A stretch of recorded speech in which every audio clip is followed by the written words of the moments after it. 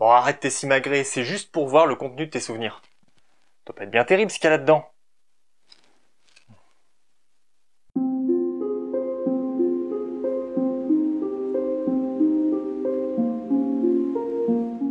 Bonsoir à toutes et tous, chers fantômes, et soyez les bienvenus dans Hanté sans frapper, la petite chronique fantastique littéraire et express de la grande entrée. Dans cette vidéo, nous allons à nouveau revenir sur une bande dessinée. D'ailleurs, je ne sais pas si vous avez remarqué, mais on a trouvé un rythme en saut de mouton plutôt sympathique pour Hanté sans frapper.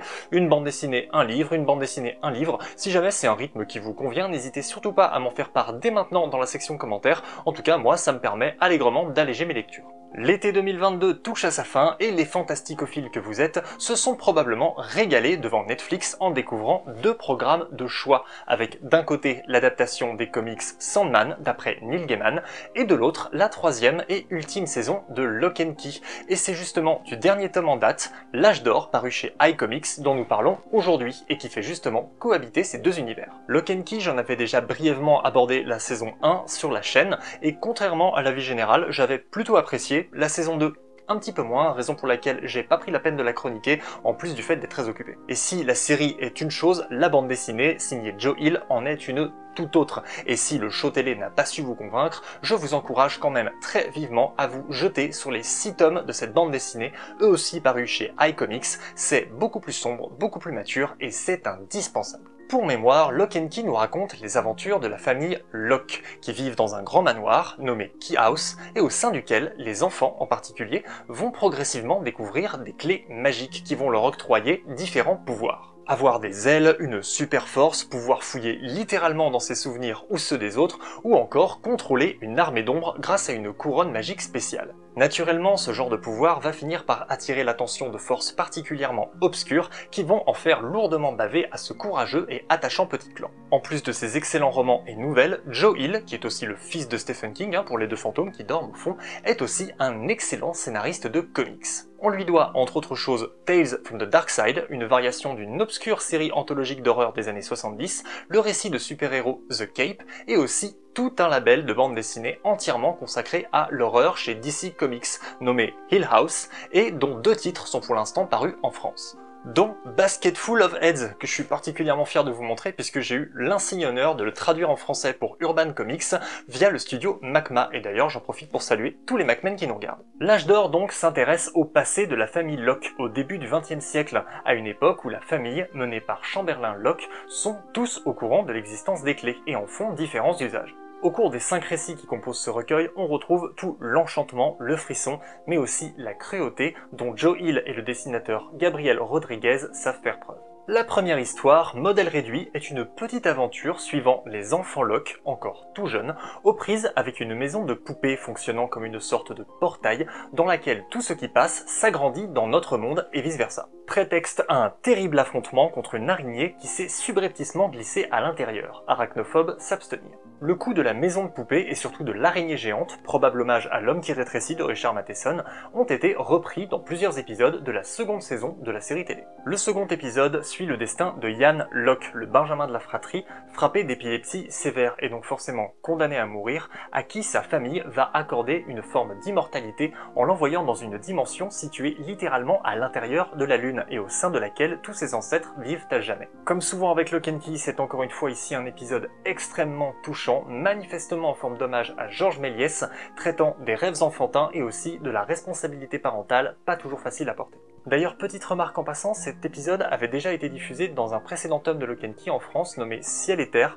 C'est un petit peu dommage, du coup, ça fait un peu doublon, j'ai eu un peu l'impression de payer deux fois la même chose, mais c'est pas comme si j'avais déjà payé plusieurs éditions d'un même livre au prétexte que je trouve la couverture très classe, donc quelque part je fais l'impasse. Après une petite vignette de trois pages, sobrement nommée La musique adoucit les mœurs, et dans laquelle une clé permet de donner vie à un orchestre miniature, on entre dans le vif du sujet avec l'épisode nommé En pâle bataillon. L'histoire suit le jeune John Locke, désireux de s'engager dans l'armée afin d'aller prêter main forte sur le front de la Première Guerre mondiale. Afin de contourner son jeune âge qui le rend forcément inapte au service, John se sert d'une clé qui lui permet de vieillir et use des autres afin de rééquilibrer le conflit sur le champ de bataille. Bien sûr, il ne faut pas longtemps avant que les clés tombent aux mains de l'ennemi et qu'une tragédie irrévocable survienne. Cet épisode est un gros moment de bravoure, sanglant et violent, et qui nous rappelle avec cruauté l'adage en vogue disant que un grand pouvoir implique de grandes responsabilités.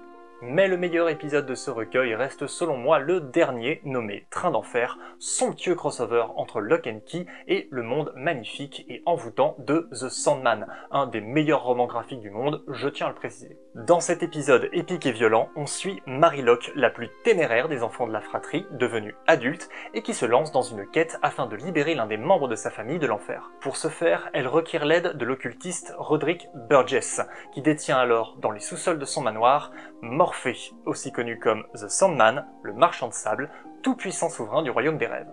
Et sans mauvais jeu de mots, celui-ci pourra bien être la clé du succès de la quête de Marie.